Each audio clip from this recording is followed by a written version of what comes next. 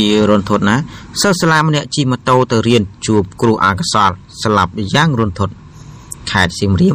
ដោយក្មេងប្រុសជាសិស្សសាលាម្នាក់ខណៈជិះម៉ូតូទៅរៀនក៏ជួបគ្រោះថ្នាក់ចរាចរណ៍រវាងរថយន្តបុកជាមួយម៉ូតូបណ្ដាលឲ្យស្លាប់បាត់បង់អាយុជីវិតភ្លាមៗនៅនឹងកន្លែងកាត់ហេតុដោយហេតុការណ៍ខាងលើនេះបានកើតឡើងកាលពីវេលាម៉ោង11ព្រឹកថ្ងៃទី29ខែកុម្ភៈឆ្នាំ2024នៅត្រង់ចំណុចផ្លូវបំបែកភោជនីយដ្ឋានស្រីគូលែន ដែលស្ថិតនៅក្នុងភូមិបន្ទាយស្រីឃុំខ្នាសណ្ដាយស្រុកបន្ទាយស្រីខេត្តសៀមរាបហើយបើតាមប្រភពពីសមត្ថកិច្ចជំនាញបានប្រាប់ឲ្យដឹងនៅថ្ងៃទី1មីនានេះថាភាគីរថយន្តម៉ាកហ៊ីយ៉ាន់ដៃពណ៌ទឹកក្រូចដែលមានពាក្យស្លាលេខសៀមរាប 3A 3626បើកបោះបានគេចខ្លួនបាត់ចំណែកភាគីខាងម៉ូតូម៉ាក Sumer X ពណ៌ក្រហមលីសមិនមានផ្លាកលេខបើកបរដោយជនរគ្រោះដែលមានឈ្មោះរីភក្តី ភេទប្រុសអាយុ12ឆ្នាំជាសិស្សដែលរស់នៅភូមិបន្ទាយស្រីឃុំខ្នាសណ្ដាយស្រុកបន្ទាយស្រីខេត្តសៀមរាបសមត្ថកិច្ចបានបន្តថា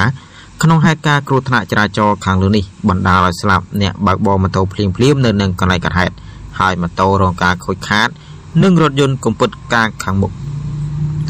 សមត្ថកិច្ចបានបញ្ជាក់ថាករណីខាងលើនេះមូលហេតុរថយន្តបើកបរក្នុងល្បឿនលឿនចំណែកម៉ូតូឆ្លងផ្លូវបត់ឆ្វេងខ្វះការប្រុងប្រយ័ត្នត្រង់ផ្លូវបំបីជា3ហើយបច្ចុប្បន្ន រថយន្តនិងម៉ូតូត្រូវបាននគរបាលយកមករក្សាទុកនៅអធិការដ្ឋាននគរបាលស្រុកបន្ទាយស្រី